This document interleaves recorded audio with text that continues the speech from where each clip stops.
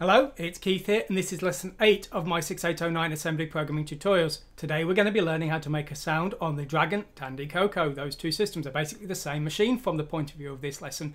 So we're going to make sounds on these systems. Now the system itself has a 6-bit digital to analog converter, which is how we can send sound data. Unfortunately though, we actually have to basically crank it out ourselves, whereas some systems have like things like an AY sound chip that will do work for us, or things like the Amiga will automatically stream bytes of data to the sound chip. The Dragon will not. We're basically having to send the volume levels straight to the hardware and that will basically build the sound one frequency at a time. So we need to have a basic understanding of what kind of data we send will make what kind of sound. And so to hopefully help with this, what I've done here, if I just zoom in a little bit, is I've made a sequence of examples here, little screenshots, and these will show what different sound waves will sound like and then explain how we have to generate them from single byte values. Now, with regards to the DAC on the Dragon, the bottom two bits are unused. The sound sample, the six bits, are the top six bits of the byte that we send. And these bytes are sent as unsigned values. So a value of zero will be a very quiet sound and a value of FC will be a very loud sound. Now, depending on the time we change the sound, if we change between 0 and 80 for example very quickly, that will create a very high pitched sound and that would then make a wave that would look like this. If we change it more slowly, sending 80 twice for example and then sending 0 twice, that would send a make a very slow changing sound and that would sound lower pitch. Now 80 is only the middle range of the volumes. If we sent FC and then 0 and then FC and then 0, that would create a very loud sound and it, if, if we changed it very quickly it would be very high pitch.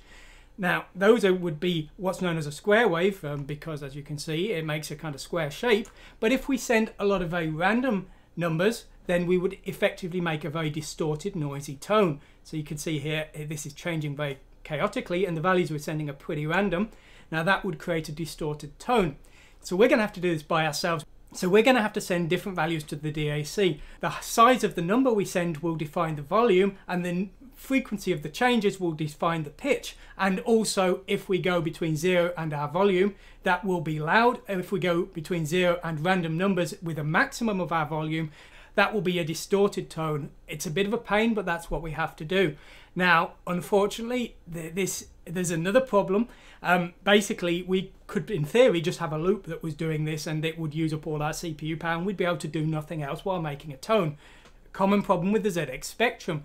However, on the Dragon, we do have the option of using an interrupt. We can define an interrupt handler, and the interrupt handler will fire automatically at timed frequencies, and then we can de decide when we want to change that tone during those interrupts, and that will allow us to play a sound while the actual code is running relatively normally. And that's what we're going to do today. So it's a complex example, unfortunately, that we're going to be looking at today, but that's what it's going to take. So how do we actually use the hardware? Well, the first thing we're going to need is we're going to need to take that DAC for sound. What we need to do is we need to set the bits of the PIA to select the hardware and to select it for sound. Now, port FF2 3-bit 3 will define the sound source. We need to turn the sound on, otherwise it would be used by the joystick.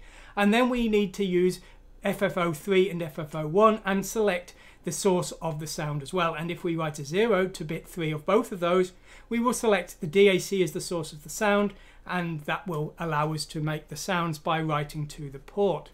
We're going to be sending the sounds to port FF20. The top six bits are the one that define the volume and as I say, the volumes we send will define the actual kind of sound, what it sounds like. Okay, so that's the first thing. That's how we're going to actually set the sound up, but we also need to use the interrupts. Now we're going to use HSync. This is a fast interrupt. We're going to turn that on and that is going to fire and then we will be able to trap that and we will be able to decide when to change our sounds to make the pitches we want. When the interrupt fires, this will end up calling the address 010C. It actually calls FFF8 first, but we can't change that address. 010C is the address that we can write to. So we write to that address with the address of our interrupt handler. And then our interrupt handler will have to deal with changing the sound as required by the pitch we want to make. Now once the interrupt fires, we'll need to clear it, otherwise it will just fire again. So we need to read from port FF00 and that will clear the interrupt. Okay, I know that's all a little bit complicated, I apologise, but unfortunately that is the name of the game for this system. Let's go over to the source code, let's actually hear some action, let's hear some sound.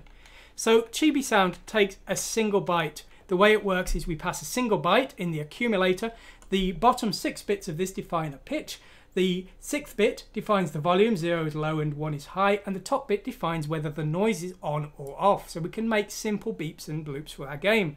And this is all being done with the interrupt handler in the case of this system. So let's fire it up and let's hear things going. Okay, so you can hear a tone there. And it's kind of distorted now. And when we go over C, it will become louder. Yeah, that's loud. And then when we go back over zero, it will become a more pure tone again.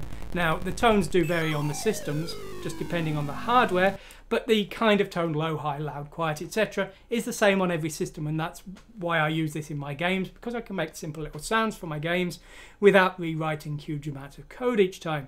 So that's what Chibi Sound is, and that's what we're going to be writing today. Okay, so Chibi Sound will run this routine on the Dragon, and this is going to do all of the work of setting things up for us. Now, the first thing we need to do is we need to turn off something known as one-bit sound. Now, one-bit sound is a bit like the spectrum emulation, where rather than sending a 6-bit DAC value, we could just send a one-bit volume, but we need to turn that off because we've got something a bit better this time. We don't need to use that silly thing. So we we're turning it off here, and we do that by setting the bit that handles one-bit sound to input rather than output, and that will disable it here. It's a bit complicated, but these are basically doing that for us. Now what we need to do is we need to turn on the DAC and the H-Sync interrupt and we're doing that just here. Now bit 0 here is turning on the H-Sync. That is the fast interrupt that we're using to change our sound quickly enough to give the correct pitches. We're turning off V-Sync, that's done by this bit 0 here. Now bit 3 is the one that is actually defining the sound source here. We're setting the sound source as the DAC. Um, you can see that just here by these two here.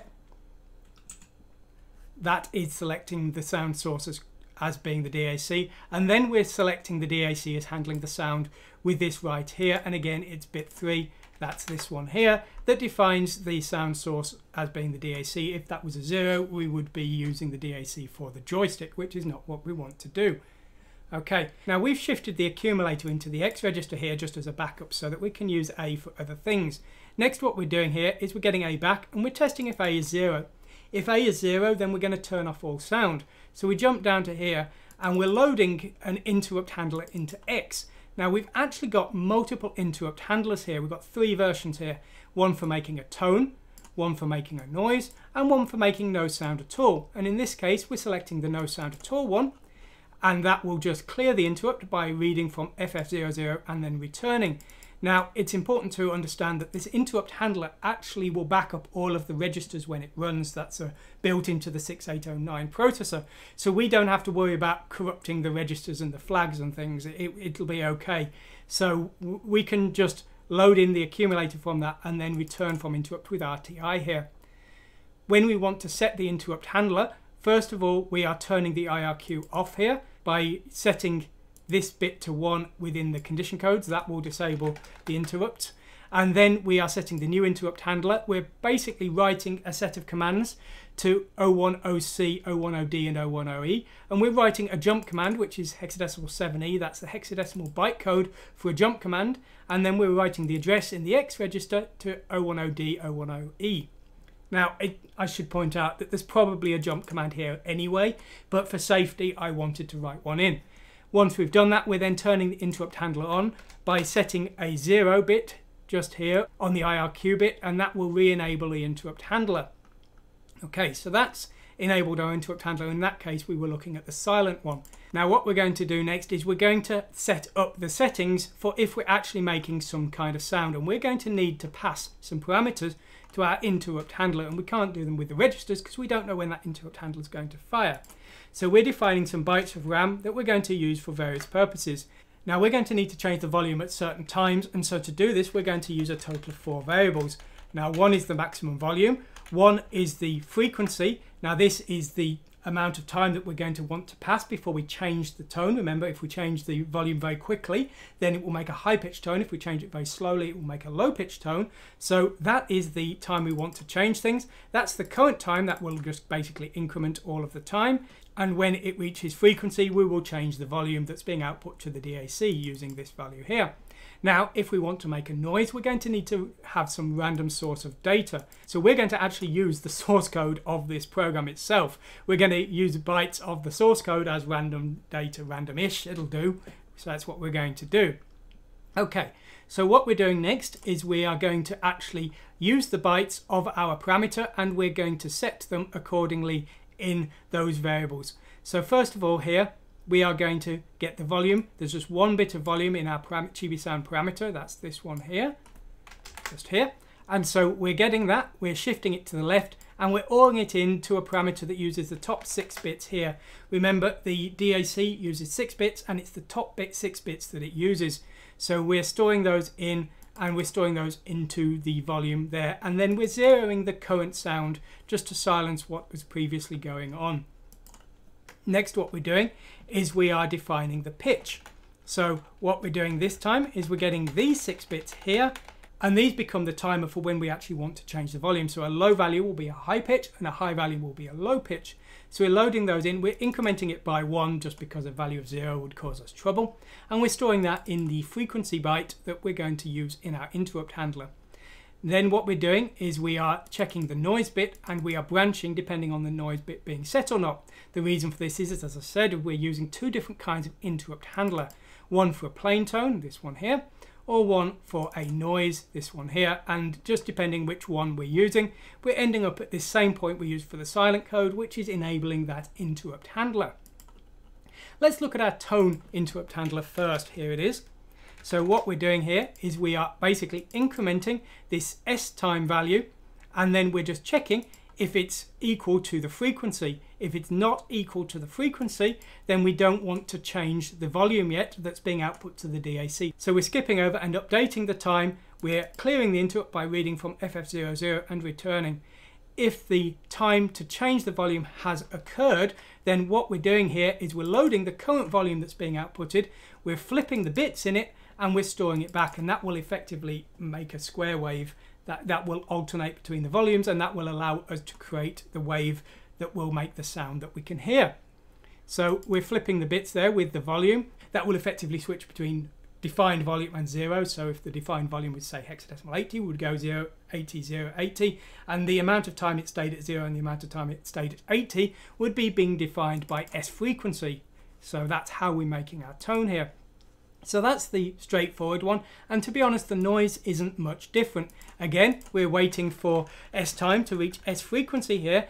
And once again, we're making our tone with hexadecimal FF20, but this time, rather than reading in the previous value and EORing it with the volume, what actually we're doing is we are reading in a byte from our program code offset by S noise, and then we are anding that with the volume, basically setting the maximum volume for the byte that was read in from the program code and then we are using that as the output to hexadecimal FF20 here and that will effectively give us some pseudo random noise there and that's how we're creating those tones. It's, it's all a little bit tricky as I say if you needed something a little bit simpler you could um, you could just use this in a loop rather than the interrupt handler but to be honest it didn't make a whole lot of difference Making sound on the Dragon is a little bit of a pain, but to be honest, having worked with things like the Spectrum before where we have very little control and we don't have the interrupt handler ability, it's actually a lot preferable. And I actually find it quite fun learning about how the um, the data we actually output to a simple port like this creates a waveform and in the end we can actually hear it and you can get programs that will make a fake oscilloscope that can do this kind of thing I used a um, program to make these screenshots and as I say it's a lot of fun to see actually the sound that you're hearing um, being represented and when you've had the control of being able to create that sound as well by as I say writing bytes to a DAC in this case that's a lot of fun too. So there we go, that's today's example. As always, uh, you can go to my website and you can download this. Um, the Chibi Sound driver in its various forms has been used in all of my little games. So hopefully if you want to make a few simple sounds for your Pong game or your Space Invaders, it might be some use to you. But if you want something more advanced, of course, you can use it as a template and build something a lot better. Anyway, that's the end of today's lesson. I hope you've enjoyed it. If you have, please like and subscribe because I've got more um, Dragon Tandy Coco um, content planned. I'm going to be looking at the Coco 3 and its rather impressive graphics mode later on, so please stick around for that. Thanks for watching today, and goodbye.